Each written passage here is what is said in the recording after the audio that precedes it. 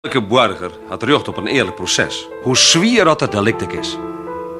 Maar kan een advocaat zijn cliënt goed bijstaan als er zelfs oorgries had van het delict? Omdat de zaak een bigeliks persoonlijk rekkert. Kan er dan zijn gevoelens uitskekelen en hem volledig in het zin stellen van zijn cliënt? De zaak die nou komt, dat weer zijn zaak. Toch, Jelle? Ja. Hij rekt u allebei de sabot dat we haast uw toga onder beem hongien.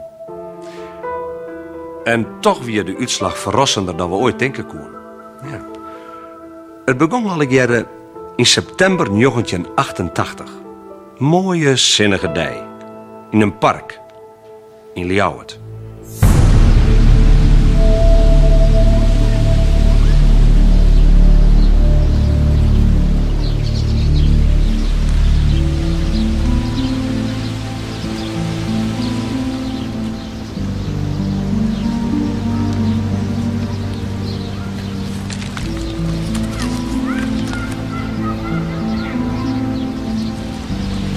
Pak maar, hè? Ja, net te vol, hè? Dat is misselijk. Hoe is het, ook? Ilse, Ilse. Dat is een mooie naam. Mooi. Jo, Ik heet Danko. ik ben al Sonja. Is dat zoon? Nou, dat komt mooi uit. Want ik heb een dochter.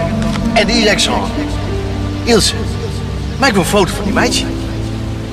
Eh, als toen je nog 16 is met een handje werk, dan probeer ik een foto van dat meisje. Ja, mooi zo. Zo. Heel mooi.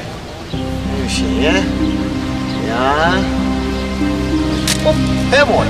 Heel mooi. En ook, dat is de handjes zo. In de. Heel, heel. En ja. Dankjewel, Ilse. Hoi.